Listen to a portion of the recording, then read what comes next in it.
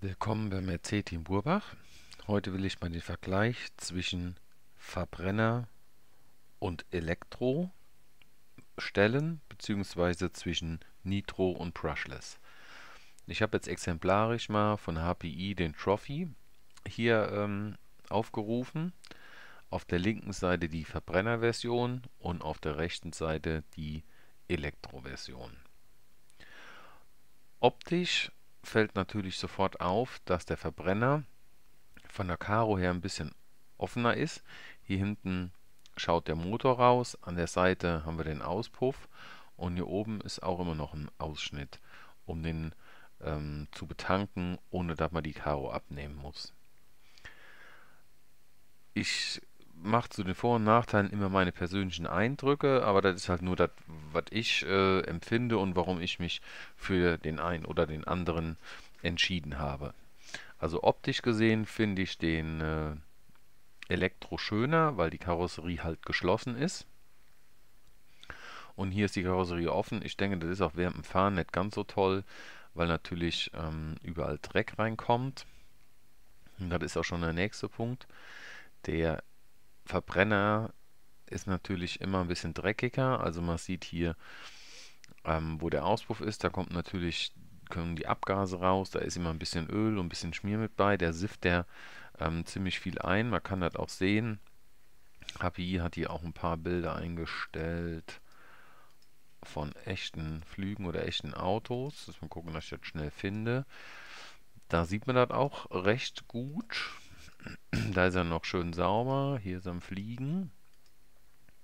Und hier sieht man auch, da kommen die Auspuffgase raus und da sammelt sich halt auch eine Masse Dreck. Und ich denke, auch da vorne wird einiges an Dreck reinfliegen.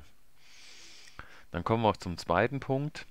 So ein Elektro ist natürlich relativ einfach aufgebaut. Wenn wir jetzt mal hier in einen Verbrenner reinschauen, mit einem Bild, wo das mal offen gezeigt wird, sieht man, der ist ziemlich vollgestopft. Also wir haben den relativ großen Motor, wir haben den Abzug dabei, wir haben den, den Luftfilter, wir haben den Tank und wir haben hier natürlich auch die großen, den großen Auspuff. Und auch innen drin ist es nicht ganz so aufgeräumt, weil hier, wo beim Elektro der Empfänger äh, sitzen würde, da ist ähm, ein Akku drin für die, für die Servos, für den Gasservo und den, den, äh, den Lenkservo weil der Motor produziert natürlich keinen Strom, aber die Servos brauchen natürlich auf der anderen Seite auch Strom, um zu fahren. Das heißt, ganz so ohne Elektro geht auch der Verbrenner nicht. Und wenn wir uns das jetzt mal bei der Elektro-Variante anschauen, der ist also weitauf aufgeräumter. Hier kommen natürlich noch die Akkus rein, aber im Großen und Ganzen würde ich sagen, ist da einfach mehr Platz im Chassis. Aber auch das sollte jetzt nicht um der ausschlaggebende Grund sein, warum man sich jetzt was aussucht aber es ist zumindest mehr Platz.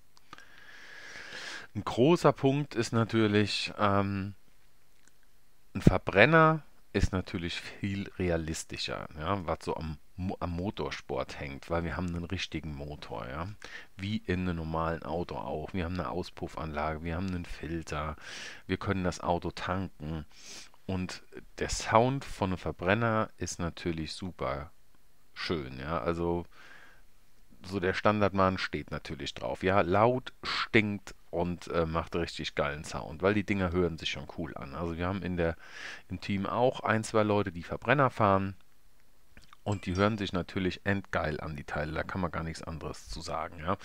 So ein Elektro, ja, der summt vor sich hin und wenn man Speed dran macht, hört er sich auch ganz cool an, aber so ein Verbrenner hört sich natürlich super geil an. Aber ich zumindest finde, der ist natürlich auch viel aufwendiger, was die Wartung und so betrifft. Weil wenn ihr ein neues Modell habt, dann müsst ihr den Motor erstmal einlaufen lassen. Also ihr braucht eine Einlaufphase. Den Elektro, da tut er die Akkus laden, stopft die rein und dann könnt ihr sofort losfahren. Ein Verbrenner muss erst eingelaufen werden. Wenn ihr mit der Session fertig seid, müsst ihr den mit Afterrun Oil ähm, behandeln, damit der Motor nichts abkriegt.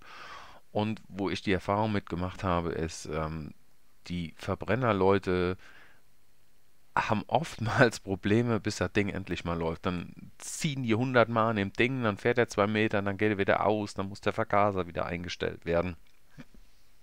Klar, es gibt natürlich Leute, die haben es drauf und die haben es in 10 Sekunden fertig und das Ding rennt. Aber die Erfahrung, die ich zumindest gemacht habe, ist, dass die meisten Leute ewig an dem rumfummeln und dann ist er wieder in der Werkstatt und dann muss wieder Motor rumgemacht werden und hin und her. Das habt ihr natürlich beim Elektro überhaupt nicht. Entweder geht der Elektromotor oder er geht nicht, ja. Und ähm, der Regler wird angeschlossen und dann ist die Sache erledigt. Und ähm, früher war es natürlich so, dass die Verbrenner viel schneller waren und leistungsstärker waren. Das war mal zu Zeiten, wo wir noch kein Brushless hatten, mit Lipos ähm, als Energieträger. Das gehört jetzt der Vergangenheit an, aber auch schon länger. Also im Gegenteil, ein Elektro ist im Anzug viel schneller wie ein äh, Verbrenner, weil der Verbrenner hat einen hochdrehenden Motor und der muss erstmal auf Touren kommen, damit er überhaupt seine volle Kraft entfaltet. Genau wie man mit einem normalen Auto auch kennt. Deswegen gibt es ja auch die meisten Motoren mit einem Turbo, damit er ein bisschen schneller geht. Der Elektro geht sofort auf vollen Drehmoment und zieht sofort ab. Also das gehört auch lang der Vergangenheit an. Ähm, ein wichtiger Punkt ist natürlich auch der Preis. Also ich würde sagen, tendenziell ist das nackte Modell von einem Verbrenner ein Ticken günstiger als Elektro.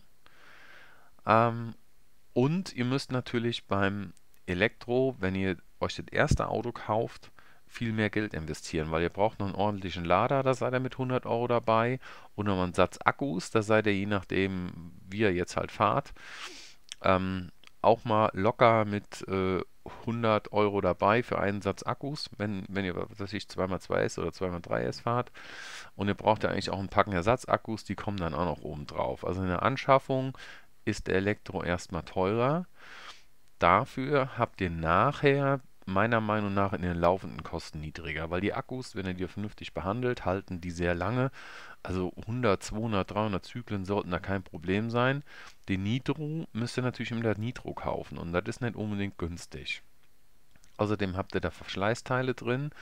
Ähm, das heißt, ihr braucht ähm, nach äh, einer bestimmten Anzahl von Fahrten ähm, neue Glühkerzen. Die kosten auch so 5 bis 10 Euro. Ihr müsst den Luftfilter ähm, immer sauber machen, beziehungsweise irgendwann auch mal ersetzen. Der kostet dann auch wieder ein paar Euro.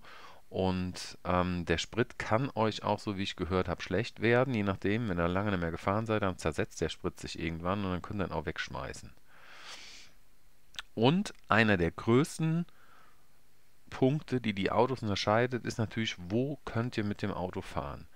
Da der Elektro relativ leise ist, könnt ihr den hinterm Haus fahren, ihr könnt auf dem Sportplatz fahren, ihr könnt im Wald damit fahren, auf einer Sandhalde, Skaterpark, wo auch immer.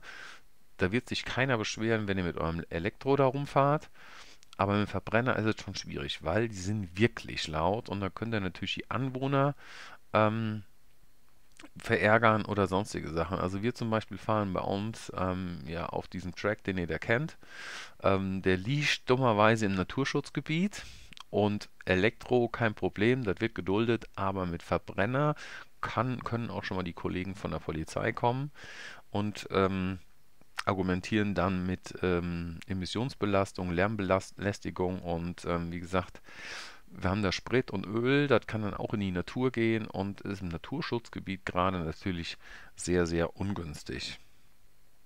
Ähm, wenn man jetzt diese ganzen Punkte ähm, abwägt, war für uns oder für mich ausschlaggebend, ein Elektro zu nehmen, weil erstens es gerade am Anfang viel leichter ist, Akkus rein und sofort losfahren. Verbrenner muss man sich noch ein bisschen mit beschäftigen und auch ein bisschen auskennen. Und das Problem, wo fahre ich mit dem Auto?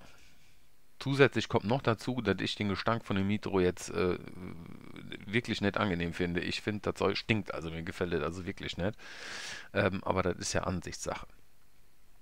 Ja, ich hoffe, ähm, dass ich da nichts vergessen habe, aber das sind so die Unterschiede vom ähm, Nitro zum Brushless-Variante. Wie gesagt, jeder von euch kann sich da selber entscheiden, aber das sind so die wichtigsten Punkte, die mir so einfallen, um die Kaufentscheidung zu treffen. Gerade wenn ihr euch euer erstes Auto suchen wollt, würde ich allerdings die Empfehlung ausgeben, euch ein Elektro zu nehmen, weil sonst habt ihr vielleicht einfach keinen Spaß mit dem Auto oder müsst euch extrem in die Materie ähm, reinlesen.